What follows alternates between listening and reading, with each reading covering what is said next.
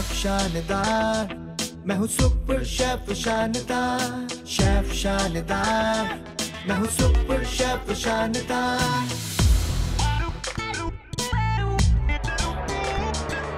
खाना भी बनाऊँ मैं शानदार, जो भी खाए बोले बढ़िया, मज़ेदार। Hello Canada cook like chef Gulzar powered by Memon super Memon super market की तरफ़ से आपको मज़े मज़े की रेसिपीज़ मिलती रहती हैं और मुझे उम्मीद है कि बहुत ही मज़ेदार रेसिपीज़ आपके पास पहुँच रही हैं। तो चिकन है मटन है और बीफ है और बहुत कुछ है सी फ़ूड है। सब कुछ आप बहुत ज़्यादा शौक से खाते हैं। तो एक ऐसी रेसिपी है जो हमारे परदेसी या देसी लोग जो है ना, बड़े शौक से खाते हैं। वो है गुर्दा कलेजी और दिल। ठीक है, ये जो है रेसिपी मुझे भी बहुत पसंद है, उम्मीद है कि आप लोगों भी पसंद होगी। लेकिन एक मसला आता है हमेशा कि ये रेसिपी हमेशा अच्छी नहीं बनती, इसमें स्मेल रह जाती है। तो आज मैं अपनी रेसिपी में आपको बताऊँगा कि इसकी स्मेल कैसे दूर की जाए और इसको बनाया कैसे जाता है और इनमें क्या चीज़ें इस्तेमाल नहीं करनी चाहिए और कब इस्तेमाल करनी चाहिए और कुछ चीज़ें नहीं इस्तेमाल करनी चाहिए और कौन सी चीज़ें कब इस्तेमाल करनी चाहिए। ये तमाम अज्जा, अगर आप हासिल करना चाहते हैं तो आप जो है, मेमन सुपर मार्केट के पेज पे चले जाएँ। Memon W W W dot Memon supermarket dot C A और इसके अलावा यहाँ पर नंबर चल रहे होंगे तो यहाँ पर कॉल करके जो है, आप ऑर्डर कर सकते हैं कि आपके डोर स्टेप पर तमाम चीज़ें आपके घर पर मिल जाएगी। इसलिए कि मसरूफ़ ज़िंदगी में आपको जो है ना, चीज़ें जो है ना, आपको परचेजिंग के लिए जाना मुश्किल काम होता है तो मेमन सुपर मार्केट आपको तमाम चीज़ें प्रोवाइड कर रहा है। हंड्रेड परसेंट हलाल एंड ऑथेंटिक जो चीज़ें हैं, वो आपको वहाँ पर मिल जाती हैं। आइए स्टार्ट करते हैं। बहुत ही मज़ेदार कलीजी गुड़ता सब कुछ ही, बहुत कुछ। तो उसको स्मेल कैसे दूर करेंगे? स्टेप पहले हम वो शुरू करेंगे। आइए चलते हैं। जी नाजरीन तो स्टार्ट करेंगे। सबसे पहले हमने पानी को बॉइल कर लेना है, ठीक है जी? पानी बॉइल करने के बाद हमने इसमें क्या क्या चीज़ें ऐड करनी है, वो हम देख लेते हैं। एक किलो हमने लिया है गुर्दा कलीची और दिल, ठीक है जी? यहाँ पर मैंने पानी ले लिया, तकरीबन एक लीटर के करीब, ठीक है? और इसे हमने क्या क्या चीज़ें इसमें ऐड करनी आइए, चलते हैं। और इसमें हमने ऐड करना है दो tablespoon lemon juice, fresh lemon juice. और इसके साथ साथ दो टेबल स्पून अदरक और लहसुन का पेस्ट, वो भी फ्रेश होना चाहिए। ठीक है, ये हमने इसको मिक्स कर दिया और पानी को उबाल आने तक पकने देंगे, ठीक है? उसके बाद हमने एक किलो गुर्दा कलेजी और दिल जो भी है, उसको हमने इसमें बॉइल्ड कर लेना है। जी नादिन तो इसमें उबाल आ चुका है तो अब मैं ऐड करने जा रहा हूँ गुर्दा कलेजी वगैरह, और ये मैं इसमें डाल दूँगा, ठीक है? और इसे हमने तीन से चार मिनट के लिए उबाल लेना है, ठीक है? और अब आपको नज़र आएगा इसके ऊपर एक झाग सा, ठीक है? बेसिकली ये जो झाग होता है, यही इसकी स्मेल का बायस बनता है, ठीक है? तो आप अगर ये काम कर लेते हैं तो इससे जो है आप बहुत अच्छी रेसिपी तैयार कर सकते हैं। अगर पाए में भी इस तरह के मसला आता है तो पाए के अंदर भी इसको आप ये यूज़ कर सकते हैं, ठीक है जी? चलें, इसको हमने मिक्स कर लिया। चलिए जी। तीन चार मिनट गुजर चुके हैं। अब हमने क्या करना है कि एक हमने छन्नी लेनी है और इसके अंदर ये सारा जो है अमेज़ा हमने निकाल लेना है। ठीक है? चलिए जी, इसको हम निकाल लेते हैं। और इसके बाद आपने एक काम ये करना है कि इसे आपने वॉश कर लेना है। ठीक है? जो भी इसमें स्मेल का बायस बनने वाला झाग है उसको हमने इसके ऊपर से हटा लेना है। ये देख लें इसके ऊपर से मैं इस तरह से पानी डाल रहा हूँ। नॉर्मल पानी। और ये सारा हमने इसको वॉश कर लिया। ठीक है जी? और ये वॉश हो गया अच्छी तरह से। इसके बाद फिर हम इसे अब कुकिंग की तरफ़ जाएँगे।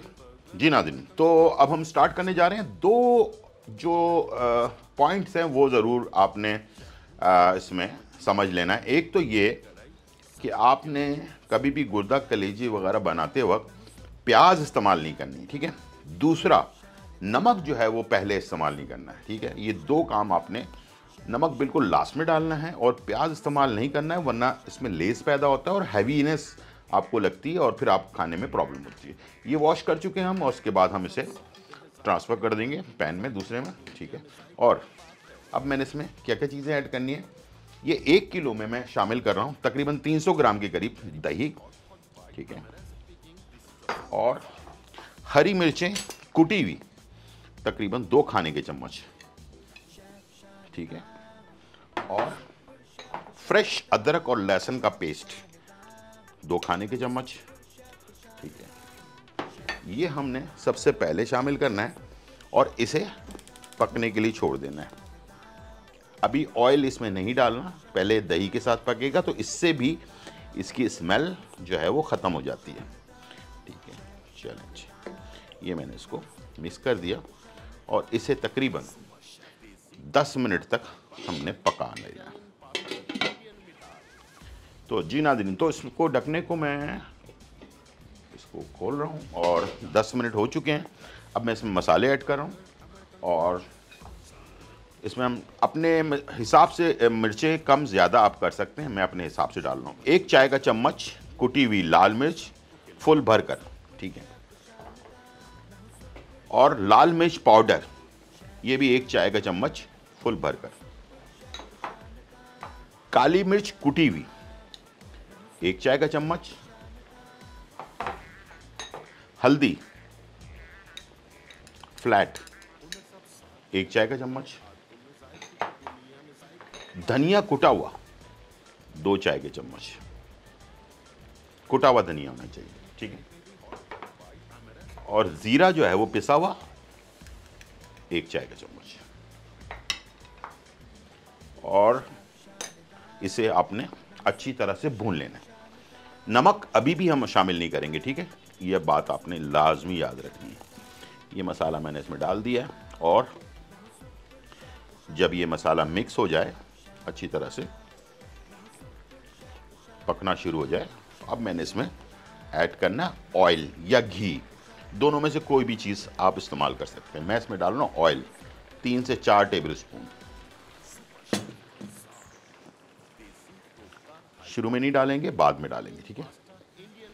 और अब आप जो कलेजी अक्सर काली हो जाती है तो इन बातों का आपने बहुत ख्याल रखना है।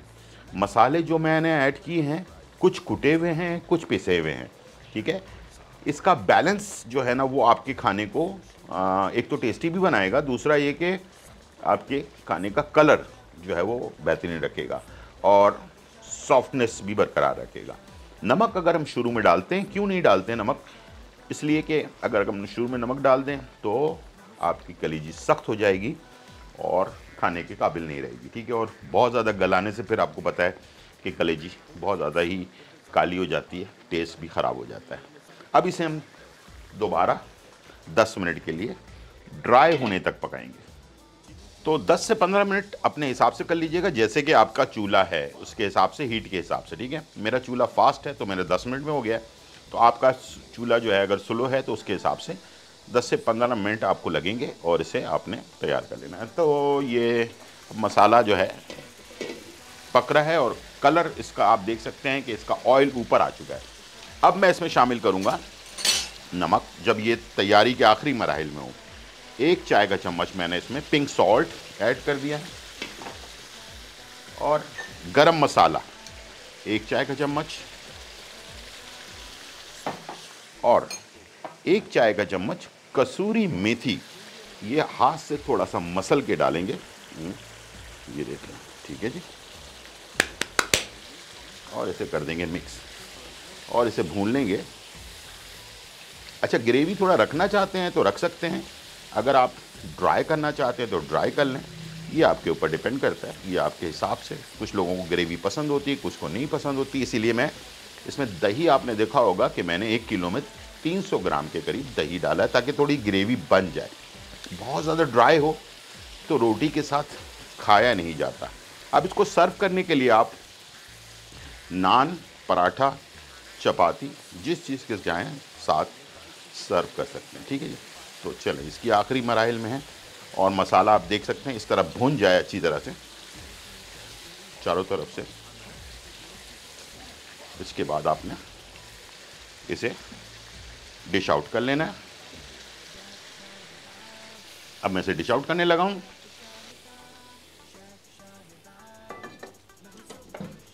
इसे थोड़ा सा हम पिला देंगे इस तरह से। जी नाजरीन तो बेहतरीन सा जो है ना हमारे गुर्दा कलेजी दिल जो है वो तैयार हो चुका है। अब बारी है गार्निशिंग की। किस चीज़ के साथ गार्निश करें? तो मेरे पास कुछ हरी मिर्चें हैं रेड कलर के अंदर हैं, कुछ अदरक भी है स्लाइस में कटा हुआ। जब भी कोई हैवी चीज़ खाएँ तो अदरक का इस्तेमाल करें, उससे एक तो खाना हजम भी हो जाता है, ठीक है?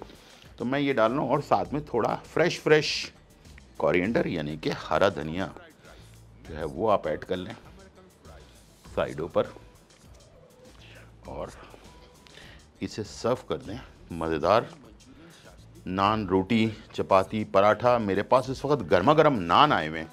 तो मैंने सोचा कि नान के साथ मैं इसे सर्व करूँ। ठीक है जी। तो ये तैयार हो गया। ज़बरदस्त सा गुर्दा कलीजी और दिल। This segment brought to you by Greenish Natural Health और इसमें मैं आपको बताने जा रहा हूँ सफ़ेद मूसली के बारे में। डब्ल्यूएचओ की रिपोर्ट के मुताबिक दुनिया भर में बच्चे और बड़े, गौर से सुनिएगा, बच्चे और बड़े, सब में वाइटामिन डी की कमी जो है वो वाक़ हो रही है। और हम अगर कभी बच्चे शिकायत करें जिसम में दर्द की, बॉडी पेन की, या बड़े शिकायत करें जिसम में दर्द की तो फौरी तौर पर वाइटामिन डी का टेस्ट ज़रूर करवाना चाहिए और डॉक्टर के मशवरे के मुताबिक आप मेडिसिन ले सकते हैं। आज की जो रेमेडी है, वो है सफ़ेद मूसली। सफ़ेद मूसली जो है, ये आपके लिए किस तरह काम करती है, ये मैं आपको बता देता हूँ। ये वाइटामिन डी का भरपूर ख़जाना है और ये जड़ी बूटी है, इसलिए ये इसका कोई साइड इफ़ेक्ट नहीं है। और दूसरा ये है कि ये आपकी बॉडी के अंदर हड्डियों को मज़बूत करती है। तो बचपन से अगर आप चाहते हैं कि आपके बच्चे मज़बूत रहें तो इसका आधा चम्मच आधा कप नीम गर्म दूध में मिलाकर अगर दे दिया जाए बच्चों को एक दिन में एक दफ़ा तो हड्डियाँ मज़बूत रहेंगी और बच्चों का कद भी बढ़ता है इससे, ठीक है? सफ़ेद मूसली, अच्छी क्वालिटी का, मैं अभी आपको क्वालिटी बता देता हूँ तो किस तरह का आपने परचेज़ करना है? और बड़ों को भी, अगर वाइटामिन डी की कमी है और आपने इंजेक्शन लगवा लिया है या विटामिन डी का जो है कोर्स कर लिया है तो उसके बाद भी ये कम हो सकता है। तो उसके लिए भी आप एक चाय का चम्मच बड़े जो हैं एक गिलास नीम गर्म दूध में मिलाकर रोज़ाना इसको आप इस्तेमाल करें। अगर किसी को दूध सूट नहीं करता तो पानी के साथ भी ले सकते हैं। तो ये जड़ी बूटी है, इसका कोई साइड इफ़ेक्ट नहीं है, ये हड्डियों को मज़बूत रखती है और ऑस्टोप्रोसेस और भी बहुत सारी बीमारियों से ये आपको बचाती है। जी, ये है सफ़ेद मूसली, ठीक है? ये नए हैं और इसमें ये पुराने होते हैं, ठीक है? दोनों कलर मैं आपको दिखा रहा हूँ, ताकि आप जब परचेजिंग करें तो आपको समझ आ जाए कि कौन सा लेना है आपने। तो आपने ये नहीं लेना। आपने ये वाइट वाला लेना है, ठीक है? ये फ्रेश होता है, ये पुराना हो जाता है। अगर इसमें सुराख सुराख हुए हैं, वो भी नहीं लेना है आपने, ठीक है? जी नाजरीन तो रेसिपी देखा, आपने तैयार हो चुकी है। अगर आप कोई रेसिपी बनवाना चाहते हैं मुझसे और कोई रिक्वेस्ट करना चाहते हैं तो आप ज़रूर हमें इतला दें और उसके लिए जो है, आप मेमन सुपर मार्केट के पेज पे जा सकते हैं। www.memansupermarket.ca या कॉल करके जो नंबर हमारे चल रहे हैं, इस पर भी आप ऑर्डर भी कर सकते हैं और कोई रेसिपी आप चाहते हैं कि मैं मज़ेदार रेसिपी आपके लिए तैयार करूँ तो आप ज़रूर बताएँ इसलिए कि मैं देसी, परदेसी, चाइनीज़ सब बना लेता हूँ, अल्हम्दुलिल्लाह। तो मैं आप लोगों के लिए तैयार करूँगा। उम्मीद है आज का प्रोग्राम आपको पसंद आया होगा। ज़िंदगी रही तो फिर मुलाकात होगी। जब तक के लिए इजाज़त, एक मज़ेदार रेसिपी के साथ। जब तक के लिए बाबा